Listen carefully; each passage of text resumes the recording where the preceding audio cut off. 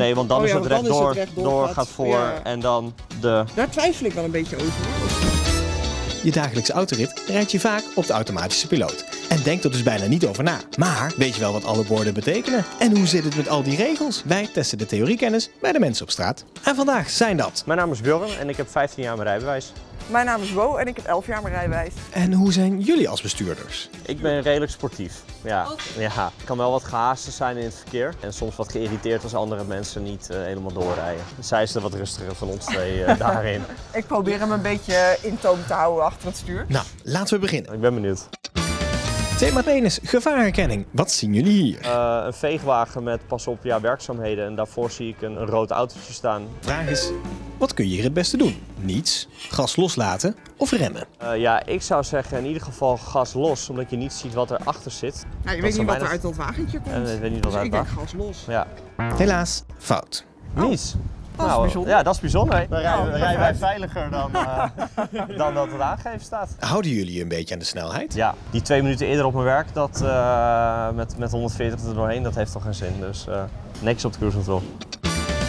Thema 2, kennis. Wat betekent dit verkeersbord? Ja, Een adviesbord volgens mij. eh, dat je... Ja.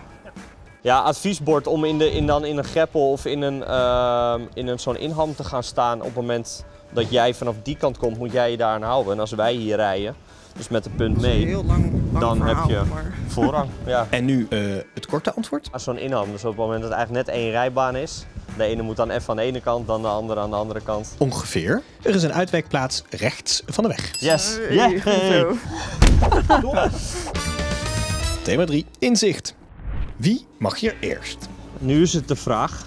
Heeft de, nee, heeft de brandweerauto zijn sirene aan en zijn blauwe lichten aan, ja of nee? En als hij zijn zwaailichten aan heeft, hij ten alle tijden voorrang heeft. En ik zie een lampje wel een beetje blauw. Dus daar ga ik dan even vanuit tot Ja, hij maar zijn die, die zwaailichten zou aan heeft. sowieso voorrang moeten hebben. De brandweerauto 1. Dan deze, want op een rechtdoorgaande weg gaat, mag gewoon Ja, maar dat ligt eraan. toch? Je ziet geen borden. Je moet eerst kijken naar de borden. Want jij komt voor hem voor rechts. Oh ja, dan is het inderdaad wel. Dus dan gaat de lesauto eerst en dan de vrachtwagen. Wil je weten wat het juiste antwoord is? Ja? Test je kennis en beantwoord nog meer vragen op anwb.nl slash examen. Oké, nou, dan gaan we dat doen. Dan gaan we dat doen, ja.